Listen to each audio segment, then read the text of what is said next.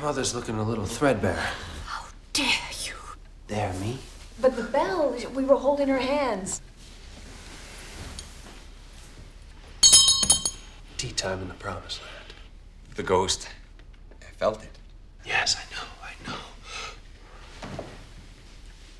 Oh, hell. I almost pooped myself. Who the hell are you? I'm Harry Houdini. I think you'll come to realize that charging a thousand dollars for a few magic tricks that constitutes fraud. I'll personally see you out of business. If you had a mother, she'd be more bitch than woman to have whelped you. My mother!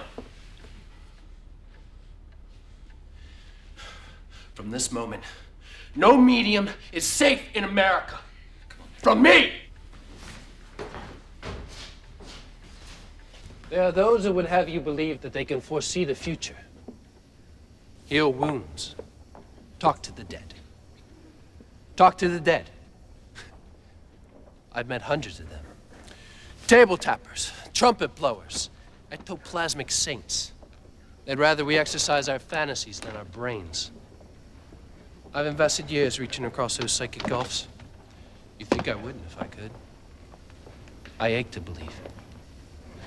I wanted to talk to one single soul. How hard could that be? July 16th, 1913. She died with one thought on her lips. For me.